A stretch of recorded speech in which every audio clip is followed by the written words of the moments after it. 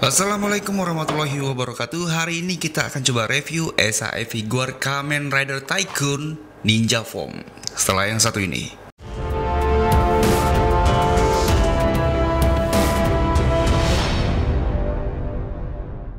Oke, sebelumnya saya ingin berterima kasih kepada teman saya, Bang Bernard yang sudah mau minjemin figur ini buat direview di channel ini. Thank you banget. Jadi, kalau teman-teman pengen punya SAE figur Kamen Rider Tycoon ini, kalau saya cek di Tokopedia itu sekitar uh, 1,6 sampai 1,7 ke atas. Jadi, nggak cuma Mbak Fat, ternyata si Tycoon ini pun juga lumayan mahal harganya. Saya salah sangka. Dan nggak perlu berlama-lama lagi, langsung saja kita review SAE figur Kamen Rider Tycoon Ninja Form.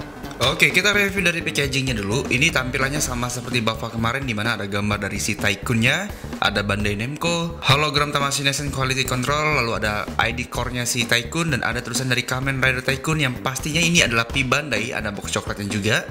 Di bawah situ ada logo dari Gits dan juga ada Bandai berwarna biru.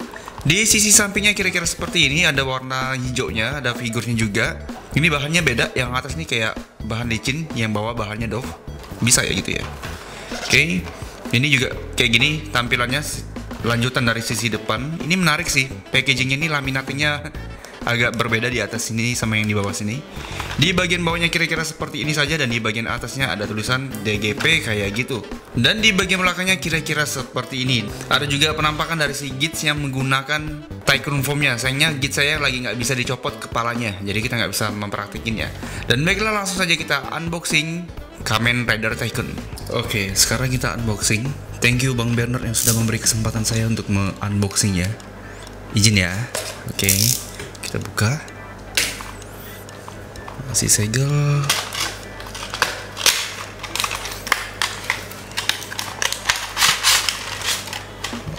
Oke, dan itu dia figurnya. Coba kita langsung buka. Oke, dan ini untuk figur dari si Tycoonnya warna hijaunya lumayan, lumayan bagus. Dan coba kita lihat senjatanya ini walaupun enggak Oke, dan ini senjatanya. Langsung saja kita review figurnya. Oke, kita langsung coba di bagian kepalanya, di tali kepalanya kira-kira seperti ini. Jadi benar-benar seperti rakun. Dan saya baru sadar ternyata di bawah di dekat mulutnya itu ada garis-garis ataupun pattern ninjanya kayak gitu sama seperti yang ada di bagian tangannya. Cuma ini lebih kecil. Dan di tali bagian telinganya kira-kira seperti itu. Dan ini yang paling menonjol adalah di bagian matanya. Jadi um, pattern di matanya ini benar-benar berasa banget di sini. Kayak gitu. Oke tapi ini agak kurusan ya. Bener sih agak kayak gepeng aja sih kepalanya. Harusnya agak lebar kan harusnya kalau dari samping kira-kira detailnya seperti ini ini warna smoke grey-nya keren sih. Tuh kayak gitu. Oke, lanjut lagi di bagian armor tengahnya. Di armor tengahnya ada kayak gear gitu. Oke, ini dicat rapi juga warna chrome. Oke, kira-kira detail di bagian dadanya seperti itu. Cakep. Shoulder kiri dan kanannya kayak gini. Berlapis-lapis seperti itu. Di bagian belakangnya kira-kira seperti ini.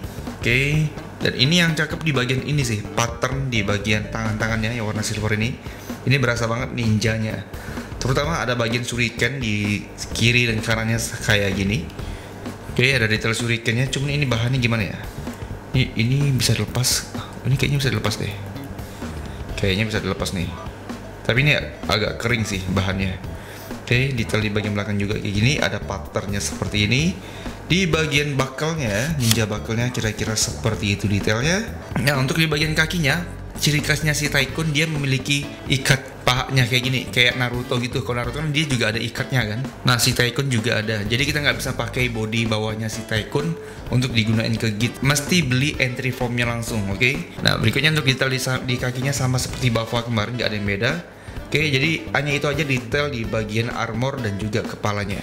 Oke, okay, sekarang kita coba di bagian artikulasinya. Kita coba nundukin dia.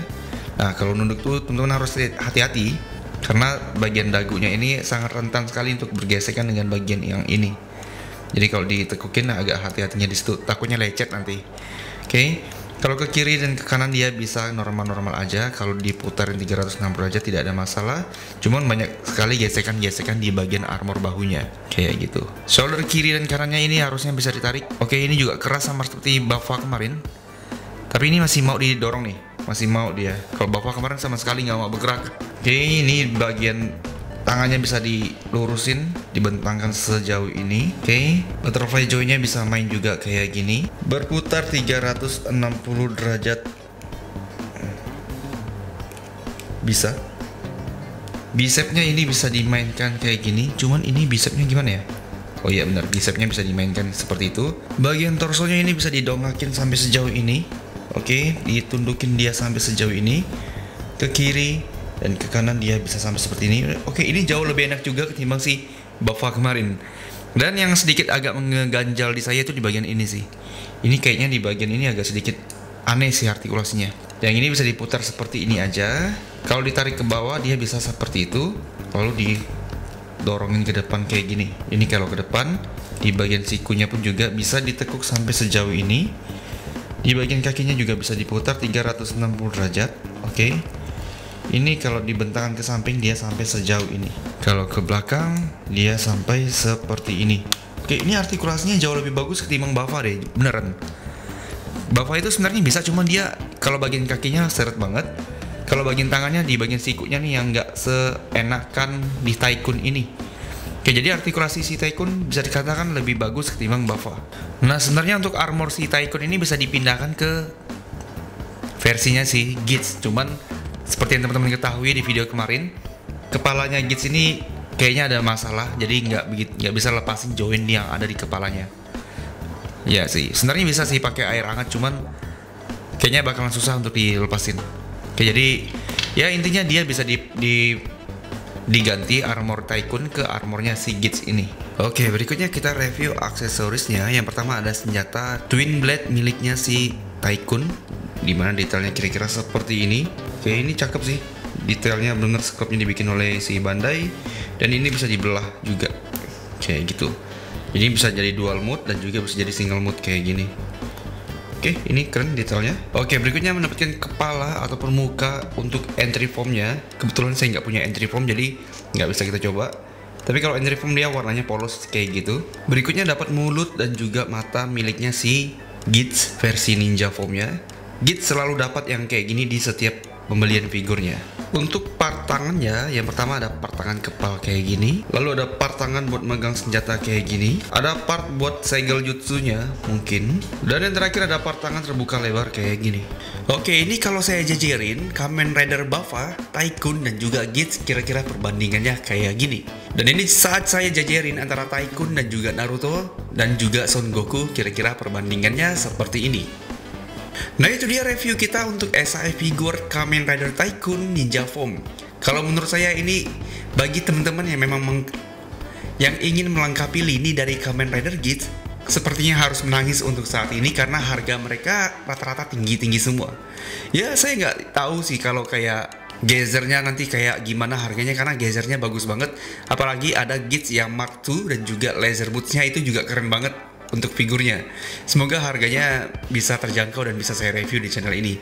Oke, skor dari kalian berapa untuk SAF Tycoon ini? Kalau dari saya, saya kasih skor 8 banding 10 karena ini cukup lumayan oke figurnya tapi masih agak kurang menurut saya. Skor dari kalian berapa? Tulis di kolom komentar ya. Nah, saya akhiri videonya. Buat teman-teman jangan lupa untuk follow Instagram saya dan TikTok saya dan jangan lupa juga untuk subscribe channel ini. Saya akhiri videonya. Wassalamualaikum warahmatullahi wabarakatuh. Sampai jumpa.